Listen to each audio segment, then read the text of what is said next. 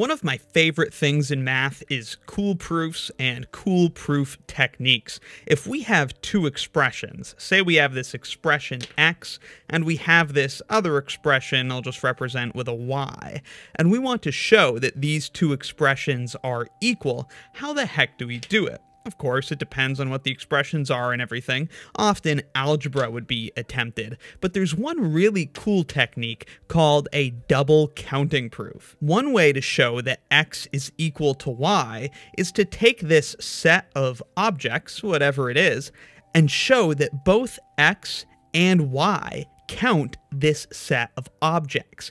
If X gives me an accurate count of the number of objects in this collection, and so does Y, well, certainly, they must be equal. This proof technique is generally used in combinatorics, mathematics concerned with counting and counting problems, but you can see variations of it in other very simple problems as well. For example, the commutativity of multiplication. How do we know that 2 times 3 is the same as 3 times 2? Well, when I look at a rectangular array of 6 dots, I could count the number of dots in this array in two manners. I could look at it as two groups of three, or I could look at it as three groups of 2. So clearly, 2 times 3 is equal to 3 times 2. They're both just different ways of counting the number of dots in this rectangle. Another classic example you might have seen comes from the distributive property. How do we know that a times b plus c is equal to ab plus ac?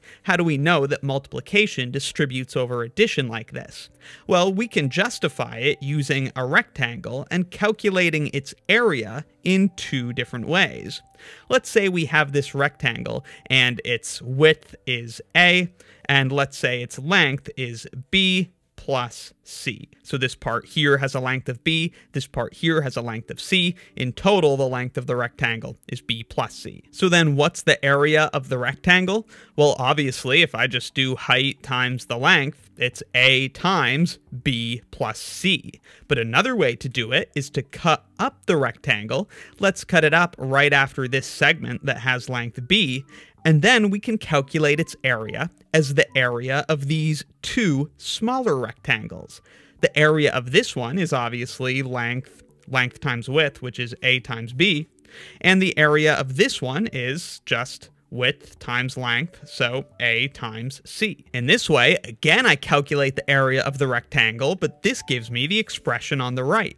Either way, both of these expressions are the area of the same rectangle, so they have to be equal. So that's the double counting technique. We show that two expressions count the same thing, and so they must be equal. Here's a more classic example from combinatorics. Suppose we want to count the number of ways to select a committee of k people from a group of n people. So we have n people and we want to select a committee of k of them. To count the number of ways we can do this, one way is to just count the number of ways to pick k people from a group of n people. And we have a mathematical symbol for that.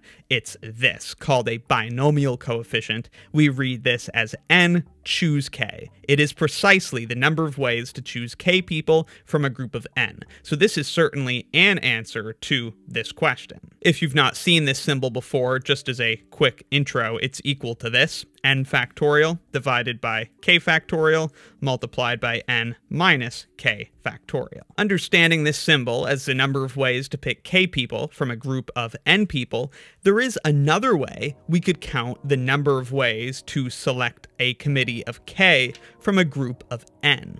Let's suppose our group of n people has somebody named John. Let's first count the number of committees of k people that include John if we're going to include John, then there are only n minus 1 people left to choose from. And if we're trying to form a committee of k people, then we have k minus 1 people left to choose. So this would count all of the committees of k people that include John. Now, if we want to count up all committees of K people total, we also need to consider the committees that don't include John. How many committees don't include John? Well, there are n minus 1 people we could choose total because we're saying that we're not going to include John. And among those people that are not John, we need to select k of them. This counts the committees of k people that include John. This counts the committees of k people that don't include John. In total, it counts the number of committees of k people. And so certainly it has to equal this on the left n choose k is equal to n minus 1 choose k minus 1 plus n minus 1 choose k. This is called Pascal's identity, and if you're familiar with Pascal's triangle, this equation describes the pattern that we see in Pascal's triangle, that each number is equal to the sum of two numbers above it. Here's another example. Let's say we have a group of n people total, and we're trying to count the number of ways that we can pick a team of size S. So we have a team of S people, and we want our captains. So we need to pick a team of S people, and we need to pick our captains. So how many ways can we pick a team of size S with our captains from a group of N total people? One way would be to say, well, let's count the number of ways we can pick our team of size S, which would just be N choose S, and then for every way we can pick a team of S from N people, there would be S choose R ways to pick R captains from that team of S people. So this is counting the number of ways to pick the team, and then for every way we could do that, this is the number of ways we could pick our captains from the S people that are on the team. That's one way to count this. Another way would be to pick out the R captains first. Then we would have N choose R ways to pick our captains from the N total people that are available, and then we need to consider how many ways could we pick the rest of the team? Well, for every way that we could pick our captains from the group of n people, there are n minus r people left to choose from, and we need to pick S minus R people to fill out our team, because we need a team of size S, and at this point we've already chosen the R captains. As a result, these two expressions must be equal, because they both count the number of ways to pick a team of size S with R captains from a group of N people. Let's do one more example where we use double counting to show that something couldn't have happened. Let's say at a party of nine people, everybody claims that they partook in three handshakes. Is this possible that all of the nine people could have participated in three handshakes? Well, let's think about counting. Let's count the number of times an individual participated in a handshake at this party. One way to count that is just 9 times 3. There are 9 people, and they each claim they participated in 3 handshakes, so 9 times 3, and of course that gives us 27. Another way to count the number of times a person participated in a handshake is to take the number of handshakes, let's say it's n, that's our number of handshakes, and multiply it by 2 because every handshake involves two people participating in it. So 2n would count the number of times a person has participated in a handshake total among all nine people. But of course, we just counted that as 27. So 27 would have to equal 2 times the number of handshakes. These two things are equal because they count the same thing, the number of times somebody participated in a handshake at the party. But clearly this equation cannot be true, and the number of handshakes is an integer, and there's no way you can have an even number, 2 times an integer, equaling 27.